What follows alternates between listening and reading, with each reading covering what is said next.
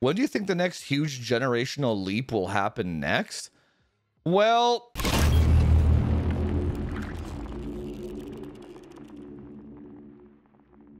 man, there's so many ways I can approach this topic. I'm just trying to figure out which train of path I want to follow here. You could approach this through the lens lens of mainstream tech tubers or through the lens of you know what you're doing right? Here's why i say that. Now if you approach it from the lens of mainstream tech tubers, um, then yeah, the 4090 looks significantly more insane than all of the other generations.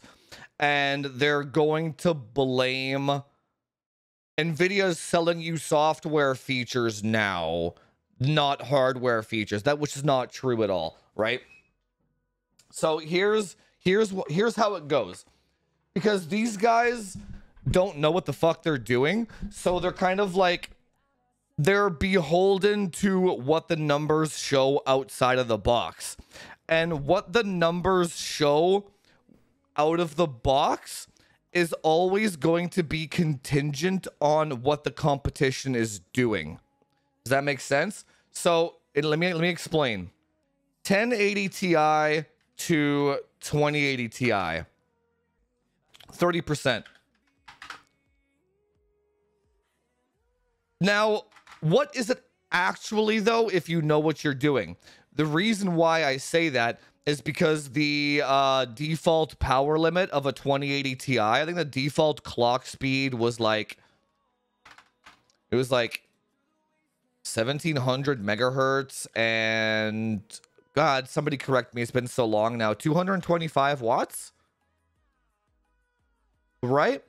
Now, when you unlock the power limit on this bitch, like you just remove the power limit, uh, now it goes to 2100 megahertz, right?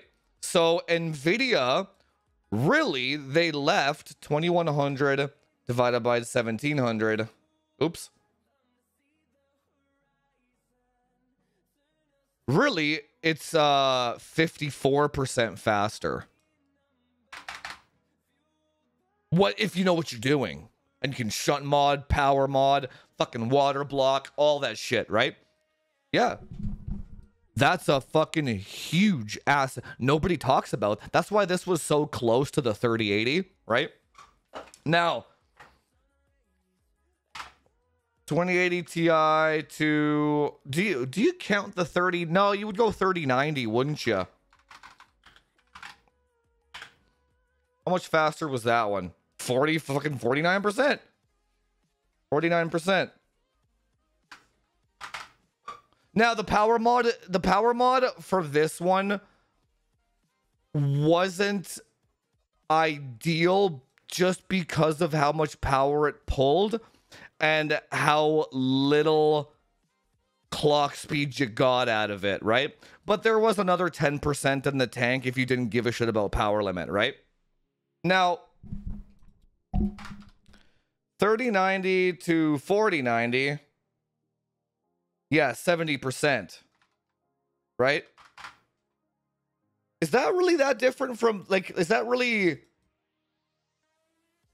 the only reason Nvidia gave us this one is because AMD had the 6900 XT, which was roughly matching the 3090 in 1080p and 1440p. They kind of have the same SM count, CU count, right? So, and Nvidia was like, well, if AMD comes out with another 30 or 40% or something like that, let's just put the nail in the coffin and give the consumer 70. Competition, right? Now, 4090 to 5090, they say it's basically the same situation as this again, right? This they say it was 30%, but it's a lot more.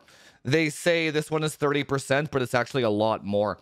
Um, or or it theoretically can be a lot more because here's how just do the math, right?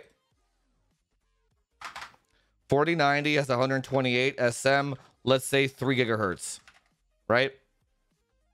5090 has 170 SM, let's say 3.3 gigahertz plus 10% IPC on top. Now, now you might be pulling 900 watts to do it if you shunt mod and all that shit, but we're talking about theoretical if you know what you're doing, not out of the box performance improvements, right? So 170 divided by 128, that's 32%. So we can ignore that's that's your generational uplift right there, right? So 3300, oh, that's 10% plus 10%. So yeah, the 5090 theoretically could be 55% faster with no power limit. And if you had a cooler that could dissipate fucking 900 watts or whatever, right? Which I will be doing content on that eventually once I actually get a good 5090 and a good cooler, right? But yeah, it's it's it's in line with all the other ones, man. The only reason that the mainstream tech tubers only show 30% on the 5090 is because 575 watt power limit no overclocking, etc., etc. What because what look at the uh look at the 5080, right? Um, why was I the only guy that gave the 5080 a good review? Because I overclocked that shit. Like holy shit, th- th- this architecture is fucking insane. So from Ada, from Ada to Blackwell, the architecture itself is a generational improvement. Absolutely, it is. It's just that when you watch unboxed benchmarks and you see 30%. What so if you watch hardware content, you see 30% more FPS for 30% more money. That's what you see if you listen to those idiots. Right? Uh was it 2000 divided by 1600? 25% more money right? I see 55% more FPS for 25% more money and Gen 5 and uh, the display port and uh, and DLSS 4 and frame gen and all that shit. So 55% more FPS and traditional rasterization plus all this shit. Uh, you could argue that you're actually getting more for your dollar than going from a 3090 to a 4090. But you got to power mod it and you got to put a water block on it and you have to solder a second connector on there so it doesn't melt. You got there's a lot of work. But you can do it. You can do it. When I get a 5090, that's just basically going to be a 5090 Ti right out of the gate. I'm going to get another 25% out of that bitch than what you see online, right? When are we going to get generational improvement? We have gotten one every single generation. Only if you know what you're doing. If not, then yeah, you got to wait and watch your unboxed videos and then you got to make your purchasing. I make my purchasing back to the whole stock market thing. I don't rely on anybody else to tell me how my shit performs. I'll take the fucking thing apart and mod it and I'll get it to perform how I want it to perform, right? So there's like I don't put my hands in the I don't rely on other people's benchmarks to tell me how my shit's to perform. You know what I'm saying? Take matters into your own hands. Fucking get that FPS. Do you know what I'm saying? Because if you do, yeah, you've gotten a generational improvement every single time, right? No problems. But no, I, I understand that people don't like voiding their warranties and they don't like. And you know why Now here now this is the last point to all this. If you know that the 57 or the sorry, the 5090, if you know that that die has another 25% in it, why didn't Nvidia give it to you?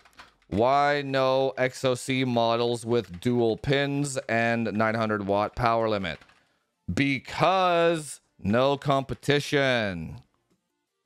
It, if AMD came out with something remotely, why do you think it's all like cut down and shit, man? If AMD came out with something within 20% of the 5090, Nvidia unlocks that shit tomorrow, 25% more. Tomorrow. Oh, now all of a sudden there's a uh, 5090 Matrix or 5090 Lightning Edition, Godlike Edition with 900 watt power limit and two pins. GG. And they don't even have to sell you a die with more SMs either. They just unlock the power.